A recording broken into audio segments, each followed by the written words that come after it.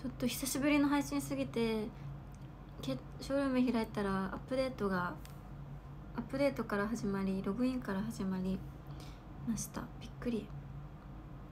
ショールームがログアウトされてた。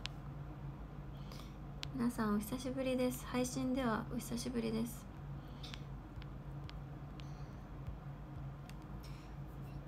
やっとログインできた。ギリログインのパスワード分かった。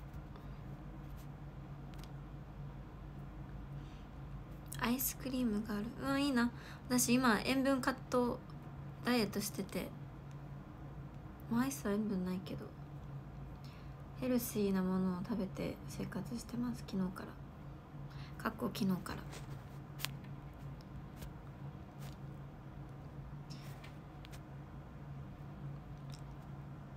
あさって明日あさってにあさってに自分の生誕祭を控えてて。それに向けて生誕祭までにむくみ取るかって感じで痩せ痩せようっていうよりはむくみ取ろうって感じで控えててアスリートの食事みたいな食事しましたさっき。チキン焼いてごま油で焼いて胡椒かけただけのやつとほうれん草焼いて胡椒かけただけのやつと水菜とトマトのサラダにお酢お酢とオリーブオイルかけただけのやつを食べました。全然満足。全然満々満足です。運動してないから満足。えてかびっくりしたのがすごい私が配信始めようと思った NGT48 の公式ルームが始まってめっちゃ焦ってるんですけど何何何してるのか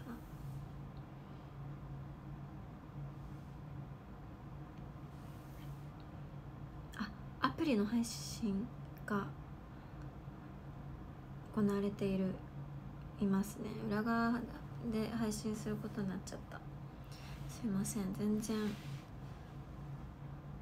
全く知らないかった。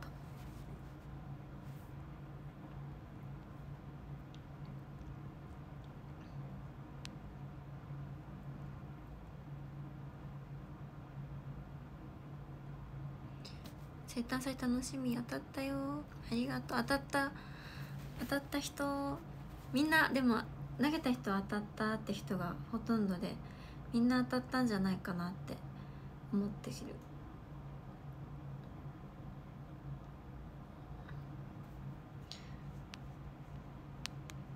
例年合わせの方はもちろんそれ以外の方もぜひ応募してほしい。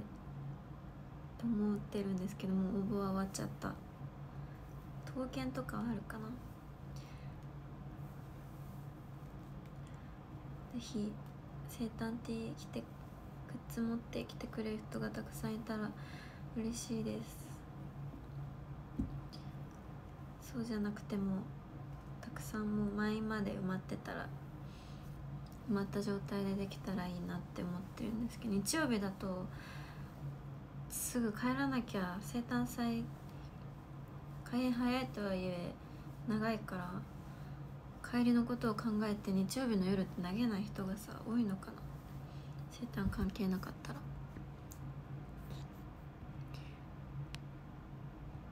そう来れないよって方もねあの報告受けたりしたんですけど全然それはもう気にせずもうその私の生誕祭の裏でどこかで私にパワーを送っておいてください。DMM でもぜひ見ててください。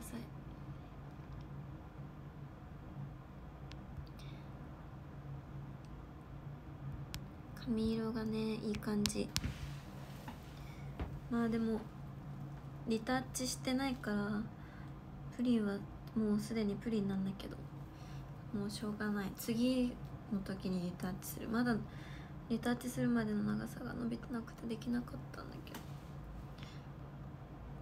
オレンジシャンプーを買って前回はカラーシャンプー一度もせずに色落ちの状態を楽しんでたんですけど今回は染めた次の日からカラーシャンプー毎日してるからめっちゃオレンジめちゃめちゃオレンジで保って生誕までオレンジで保ちたい。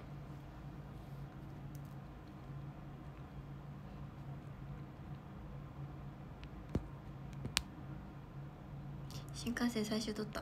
さすが。最終なら絶対間に合う。髪色が好きすぎて辛い。えー、嬉しい。なんかちょっとアニメ波まではいかないけどアニメのキャラっぽい。なんか言われたんだよな。アニメのキャラか何かに似てるって。何かは分からない。けどいそうな感じですよね。プリキュアとかアニメのキャラっぽい。けどステージで見るとまたねオレンジがね照明に映えてめちゃくちゃいい色してるので明日明後日の公演も楽しみ楽しみです。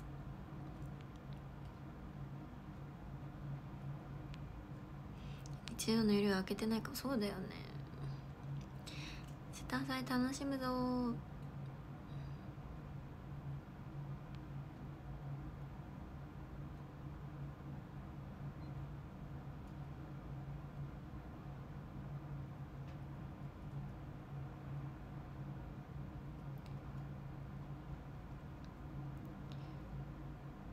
DMM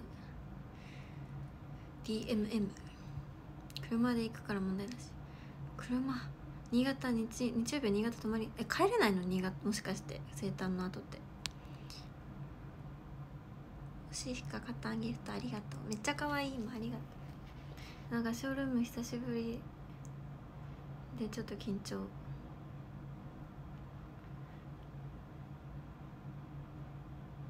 劇場のスピーカーの話なんで知ってるんですか？ケ髪つやつや。ケア頑張ってる。ケア頑張ってるけどさあキシキシだよね。やっぱりもう染めてるとかブリッジしてると。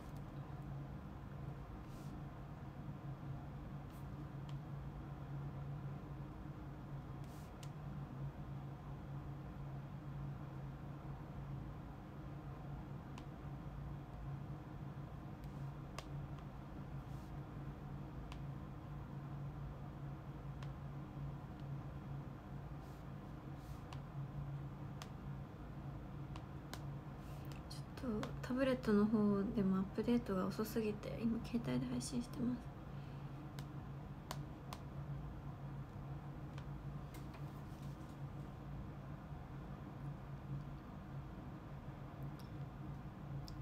メールが。じゃん。アイニャはもうやってないけどアイニャが先月やってたネイルの緑を紫に変えたお揃いです。色違いの。リボンがね離れててねつながるんです。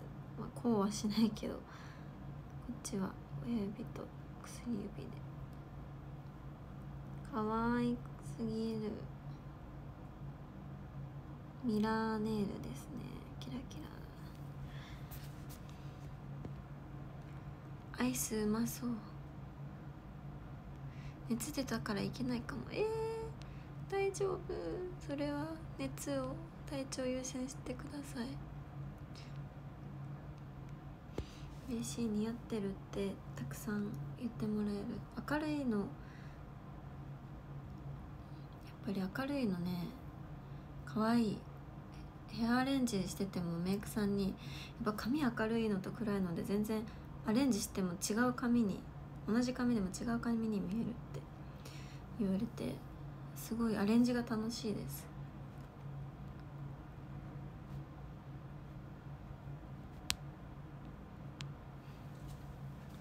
そして今日はですね何をしてきたかというと今日は私服なんですけどメイクバッチリでお乳の服を着てなんと歌唱力の唱力ナンバーワン決定戦の予選の収録をしてきました。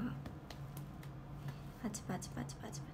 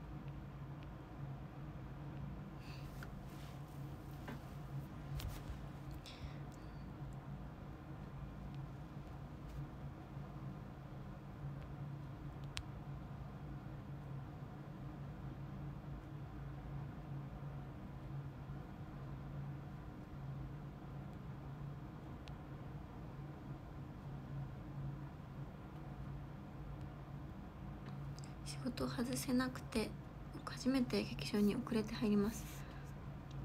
劇場でも遅れて入る人が結構いる気がする。仕事終わりに遅れてまで来てくれてありがとうって思ってるよ。全然遅れてる人に対して全然ありがとうって思ってる。おお疲れって。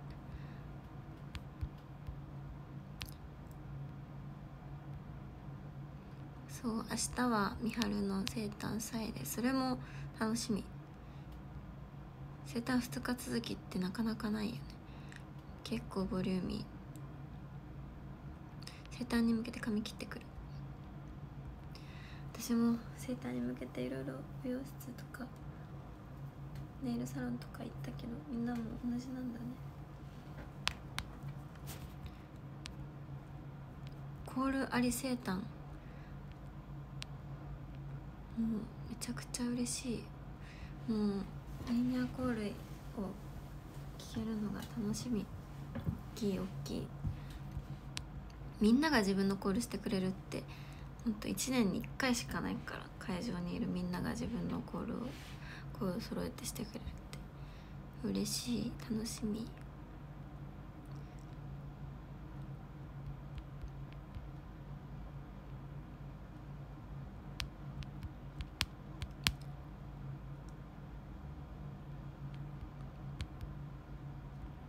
トップバッター。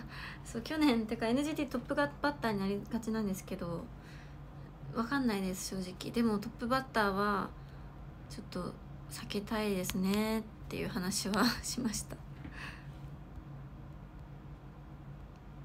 そうお洋服。上はねこれはまあ可愛いですけどこれは実はシーンのお洋服で。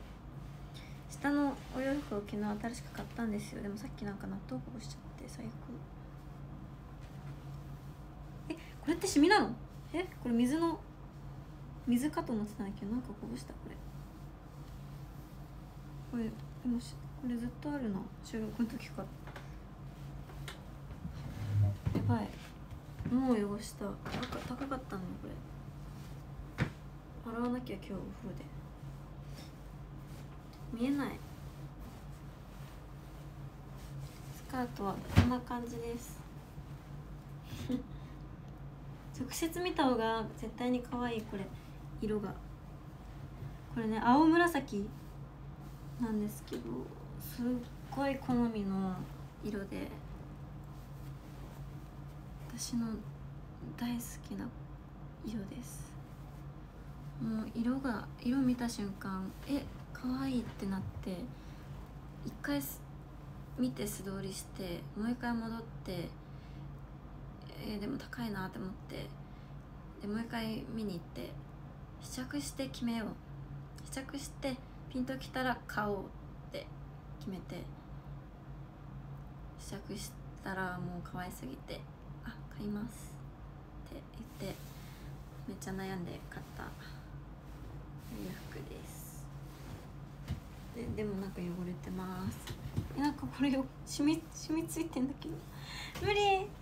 だなんか高い服に限って汚す上はねシーンで買ったのであのはい汚れてもまた買っちゃうぐらいのお値段なんだけど。まあ多分落ちる。私の私の力で。なんだろう。いつからあるんだろう。これで食事したのさっきが初めてだけど。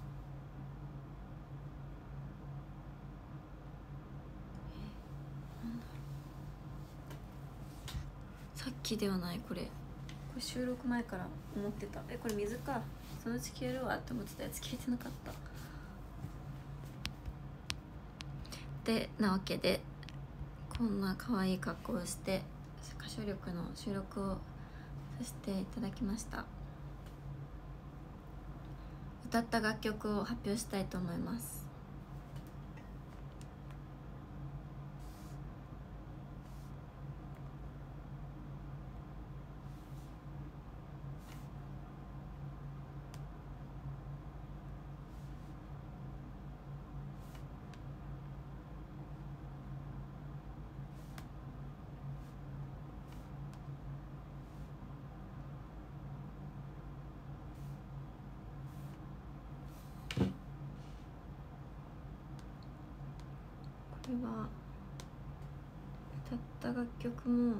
表していいんだよねっていうのが急に不安になっちゃったけど絶対大丈夫。でも一応確認しとく。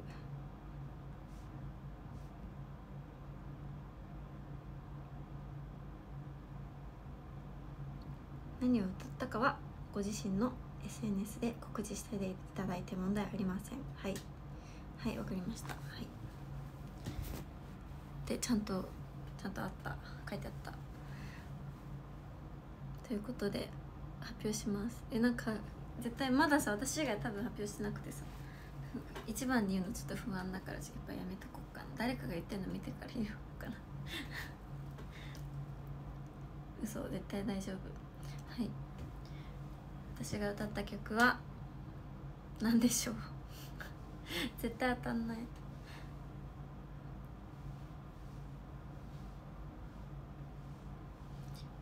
今まではえっとプリンセスプリンセスさんの M と何歌ってきたっけ？えっと奥花子さんの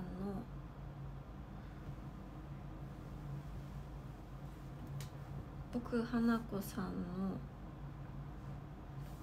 オリビアを聴きながら1回目がオリビオリビアを聴きながらで次がプリプリの M で奥花子さんの同じ曲ではないです。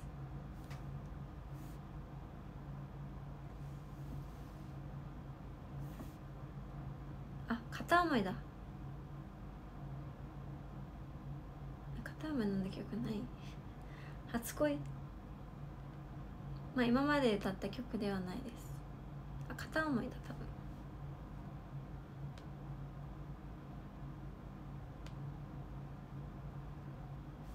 あ違うか。初恋だ。あなたの友達。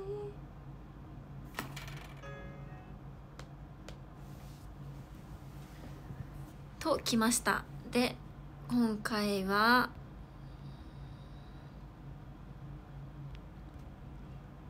おすごい。いい線というか正解。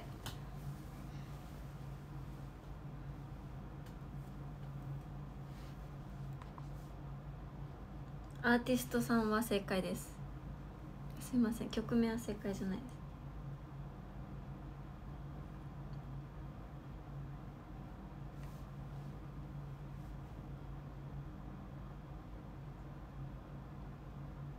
アーティスト名が当たりました。そそしたらもう出ると思う。愛子さんの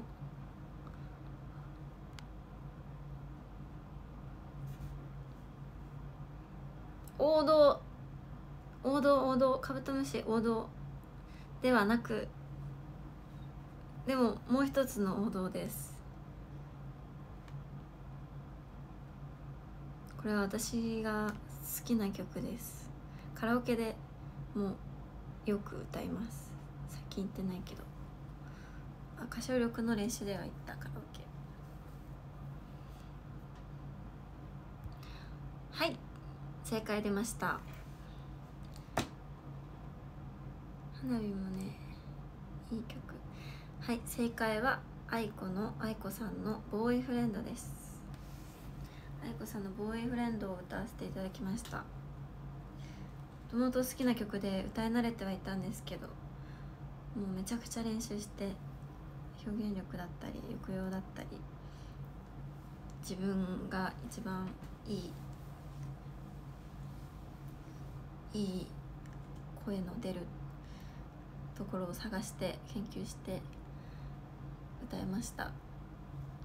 いつも歌ってる曲であるけど今まで歌ってたのとは全然違う感じで歌えて竹中さんにも練習してきたのが伝わるって言ってもらえてあのよかったなって思うんですけど今年も言われたこと毎年言われることがあって今年はどうかなって思ったけど今年も言われました。リハリハの方が良かった。でもなんかもうお決まりすぎて 本当に申し訳ない。今回は今回はって毎回思うんだけど本番になるとやっぱ硬くなっちゃうみたいで。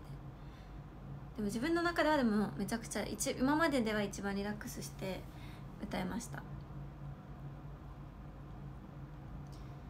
ボーイフレンドはねめっちゃ難しいんですよ。音域音域が広くて上がったり下がったりで。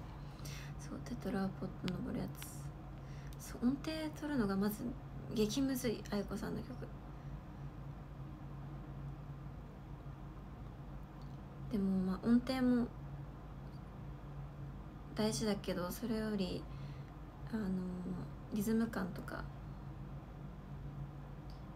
抑揚とかを大事にして音程は外れちゃってもいいからとにかく全力を出し切る気持ちで頑張りました。今まではもう音程なんなら音程しか気にしてないぐらいとりあえずピッチ当てなきゃっていう不安が強くてより緊張してたんですけど今回はそういう変な無駄な緊張なく歌いました、まあ、リハが良かったのは、まあ、しょうがない。それはもうしょうがない。けど本番もうまく自分の中ではよく歌いました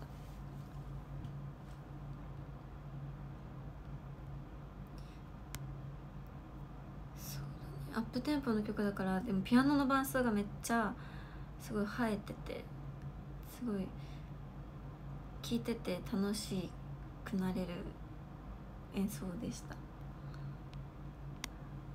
演奏はもう完璧なんですよ。あとは私が乗れ音に乗れたのか。でも本当に今まではもう緊張しすぎて覚えてないことがほとんどだったんですけど今回はちゃんと覚えてる歌ってた自分のこと。当たり前だけどなんか本当今までできなかったことがちゃんとできた。バラードじゃないっていうのでもね変に緊張しなかったんだと思われます。えー、予選の様子はですね5月29日午後9時から。そして次の日の5月30日午後9時から1日目2日目に分けて放送されます。どっちが NGT の放送日かはまだ分かりません。トップバッターだけは避けたい気持ちです。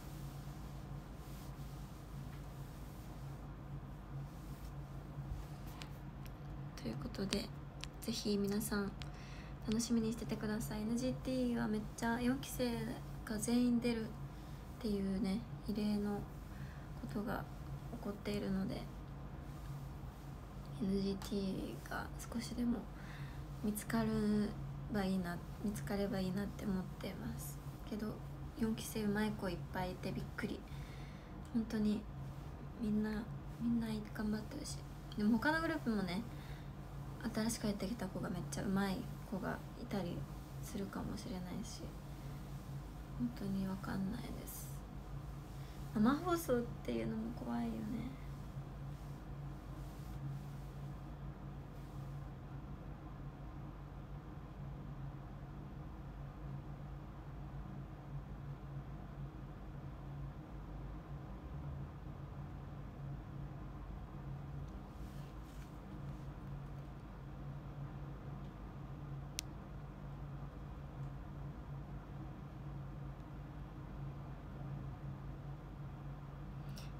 で応援する。ありがとう。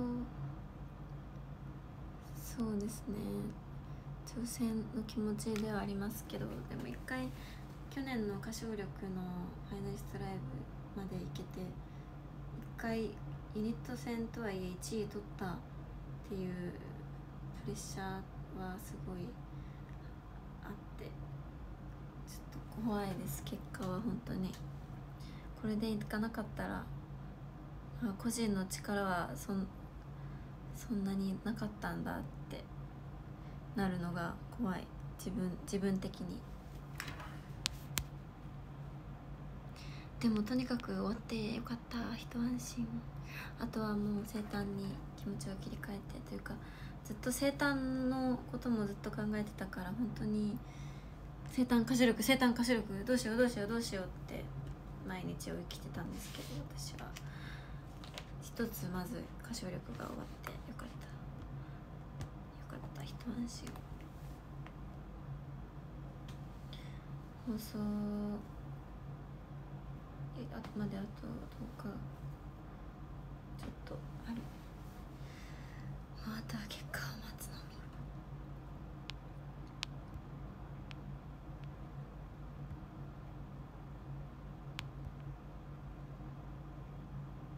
NST さんでそう「大井船の歌ったことあるんですよ。公式アカウントに載ってるんですけどでもあれは本当になんかあのあの あの時よりもレベルアップしてるっていうのは見てもらえると思います。なんか緊張はしてなかったんだけどその NST さんの収録の日。もう 死ぬほど声枯れてて。なんか鼻水も出るしちょっと本調子じゃなかったって言ったら言い訳にしかならないんですけど。でも逆に前歌ったっていう記録が残ってるからこそそこからの成長が見てもらいやすいと思うので楽しみにしててください。是非それも NST さんの公式 YouTube も見返してください。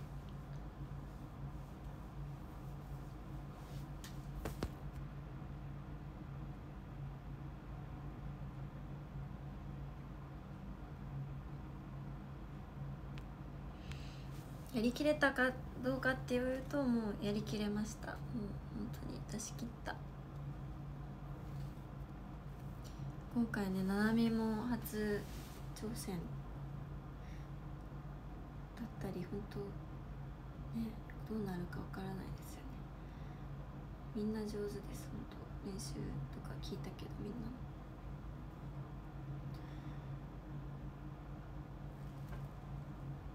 誰が何歌ったかとかさ結構面白いよねそれ見るのね。多分それぞれのメンバーから発信があると思うのでぜひチェックチェックよろしくお願いします。次はもうあとは今私がやることは生誕祭。生誕祭のスピーチ考えちゃった。初めて事前に文章で全部考えた。なんかあんまりそう文章で考え書い書くのはいいけど手紙を読むってなんかいうより自分の言葉で伝えた方が伝わるよなって思って自分の中では今まで手紙とかかカンペみたいな感じでは書いてこなかったんだけどちょっと普通に考えて書いた方が言いたいこと全部言えるなってやっと気づいて今回は書きました。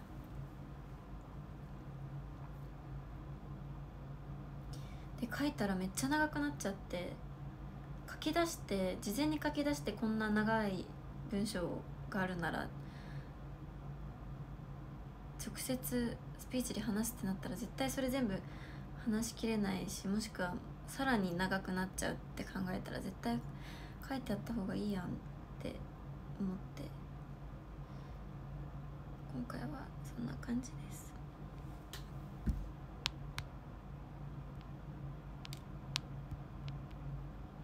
10分スピーチ。いや10分いやいきそうでも実際読んだらいきいっちゃうかもしれない。でも最長は全然私よりも私よりってか20分とか長い人はもう30分とか花江とかめっちゃ長かった。みたいで。から、まあ、10分はちょっと許しあのぜひ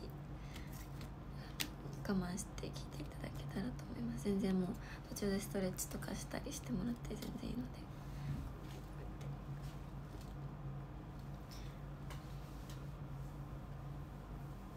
最終に間に合えば最終最終って何時だ？今今早なったんだよねそうだよね。せっかくの生誕祭でもこれでも削った本当になんか原稿用紙10枚以上みたいなぐらいの長さになっちゃって。えさすがに削った。10分そうでも読んでみたら10分行ったり行かなかったりなんか多分でも私絶対噛むから余裕持って10分かなって感じです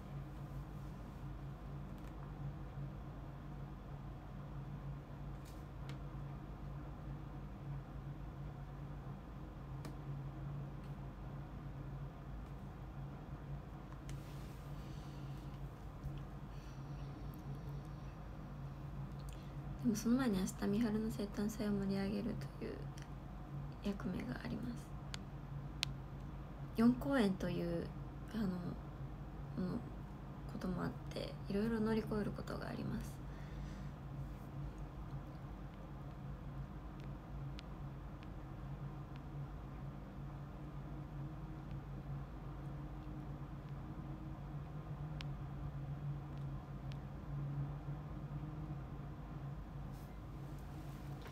髪型2つで迷っている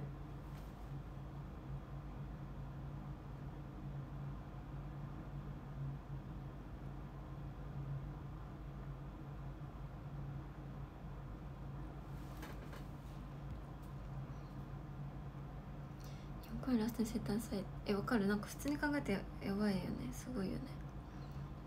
体力大丈夫かなって思ってる。最近本当に体力なくてびっくりしちゃう。逆にでも生誕祭だからあの全然もうあのなんていうのパワーはいくらでも出てくると思う。もう4公演目になったら。三原の生誕えそうだよね。去年やってなくて2年ぶりかな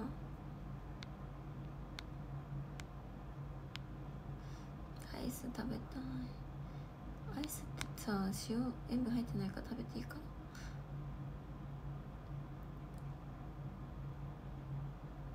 え？3時間？あ相当な3時間超えな。そうね一人一人にスピーチすごいな。嬉しいけどねメンバーからしたら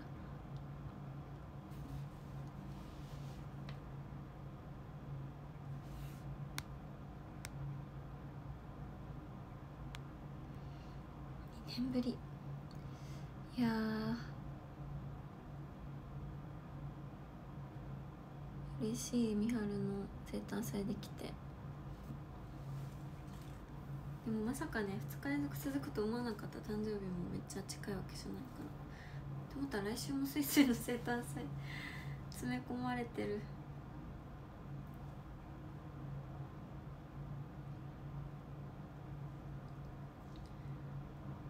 ことで皆さんぜひ生誕祭盛り上げてくださると嬉しいです。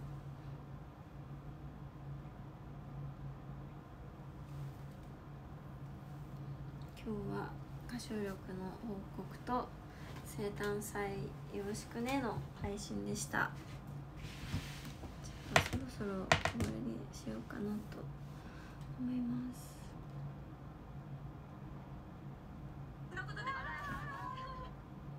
NGT のルームの配信がやってるのでぜひそっちを見に行ってくださったらと思います。ちょっとか配信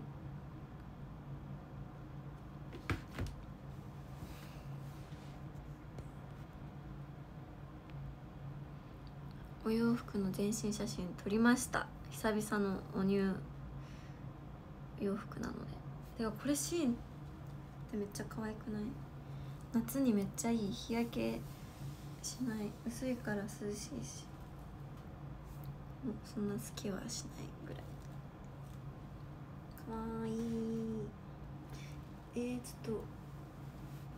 頑張ってこのシミを落とす。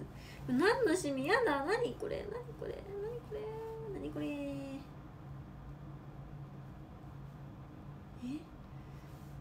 なんだろうヘアオイルとか服で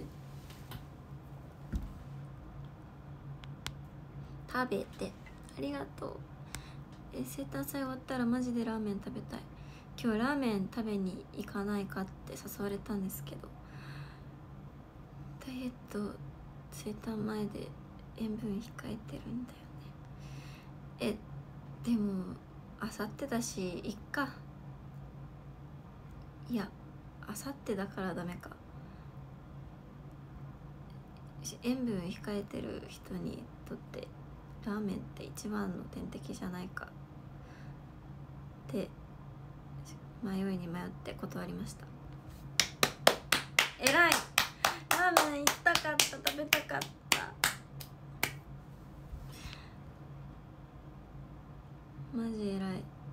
全然い行きたい。え全然行きたい。今から行こうかな一人で。なんか生誕終わったら目標ができたらラーメン食べる。えほんでもってささっき食べたもの本当にラーメンが塩分8ぐらい7ぐらいだとしたら塩分ゼロ。すごくない？これであさって漏れなかったら許さない。コンディション整ってくれなかったら絶対に許さない。明日もお昼弁当はなんかヘルシー弁当だからなんかドレッシングとかつけずに食べる予定だけど夜は自前でなんか持ってって塩分控えて行こうと思ってるぐらい本気なので頼みます。昼ご飯に熊本ラーメン食べた。えー、ずるい。鶏白湯塩ラーメン食べました。ずるい。鶏白湯塩ラーメン私が大好きなやつやん。えでもさこうやって頑張った時に限ってなんかさ漏れないんだよね。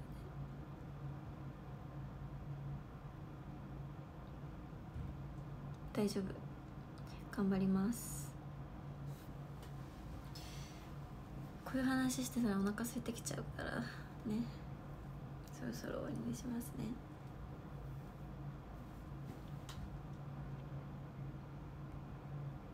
髪を染めたのはいつからか。えっ、ー、とコンサートです。コンサートの数日前からです。4月13日のちょっと前です。天下一品美味しいよね。コンビニでもう買える。コンビニの冷凍のやつもめっちゃ美味しい。ローソンのそれではランキング読んで終わりたいと思います。13位から。13位。ヒンジさんありがとうございます。12位。ウエストライフさん。ウエストライフさんありがとうございます。11位りっくんありがとうございます。10位竹めぐさん。ありがとうございます。9位ぬっくんありがとうございます。8位いつかの少年さんありがとうございます。7位しゅうちゃんありがとうございます。6位ひまりさんひまりちゃんありがとうございます。5位ジョンさんありがとうございます。4位誠治玲奈さんがとても心配ですさんありがとうございます。3位まいちゃんありがとうございます。2位ミスターさんありがとうございます。そして第1位赤シャツさんありがとうございま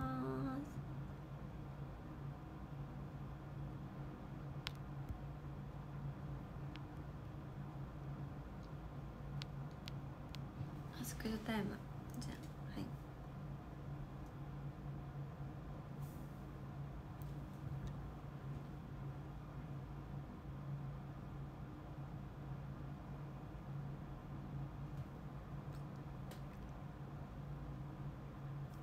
ありがとうございます。それではぜひ NGT48 の公式ルームへ。ありがとうございました。また明日公演4公演明日から4公演最後は生誕祭よろしくよろしくお願いします。歌唱力頑張った。もう叫んでも大丈夫。本当だったら歌唱力終わったわもう何食べても大丈夫。刺激のあるものも食べれるってはずだったけど偉いので塩分抜いて頑張ってます。ということで、はいはい、おやすみなさい。